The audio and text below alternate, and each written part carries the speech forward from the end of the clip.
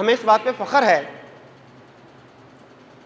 कि जितनी भी ईजादात हो रही हैं, जो कुछ साइंस डिस्कवर कर रही है, बेशक वो हम नहीं कर पा रहे। हम इस मैदान में पीछे हैं। मगर उन तमाम के सिग्नल्स उन तमाम के बारे में अलामत हमें कुरान मजीद से हदीस मुबारक से मिलती हैं कि ऐसे ऐसे हो सकता है।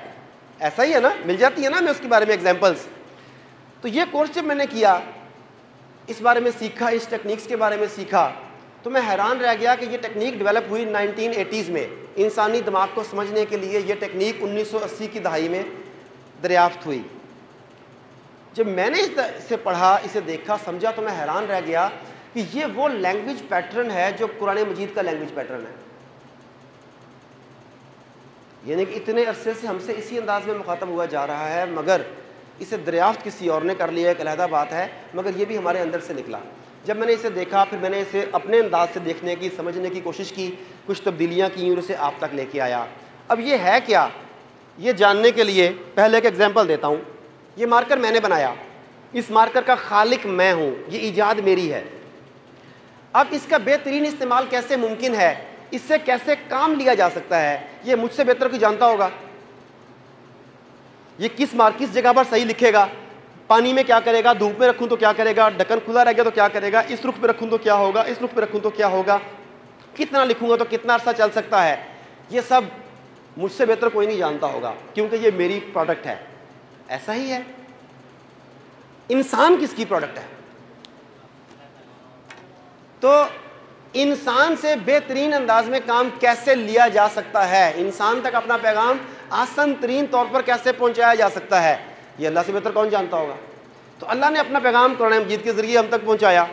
तो कुरान मजीद का जो लैंग्वेज पैटर्न है, आज मैं आपसे वो डिस्कस करने जा रहा हूँ, और आप देखिएगा कि इससे कितना ज़्यादा प्रैक्टिकल है ये।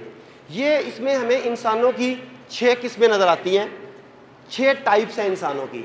आप जितने लोग बैठे हैं, आप सब एक जैसे नहीं हैं। आपके सोचने का अंदाज़, चीज़ों को समझने का अंदाज़ एक दूसरे से मुख्तलिफ़ है।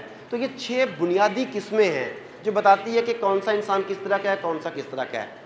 अगर इंसान को उसकी किस्म, उसकी साख के मुताबिक एनर्जी तोानाई फ्यूल फ्राहम किया जाए तो इंसान कमाल के काम कर सकता है। इसे ड्राइविंग फोर्स कहते हैं इंग्लिश में। इसकी एग्जांपल ले लें कि मेरे पास एक गाड़ी है जो पेट्रोल से चलती है। आपके पास एक गाड़ी है जो डीजल से चलती है। हम दोनों ने हैदराबाद जाना है। गाड़ियाँ बिल्कुल नई ज़बरदस्त कंडीशन में है। हमें रास्ता भी पता है, हमारी सेहत भी ठीक है। हम दोनों अपनी अपनी गाड़ियाँ निकालते हैं, चलने लगते हैं, हम पेट्रोल पंप पर रुकते हैं फ्यूल डलवाने के लिए। मेरे पास पेट्रोल गाड़ी है।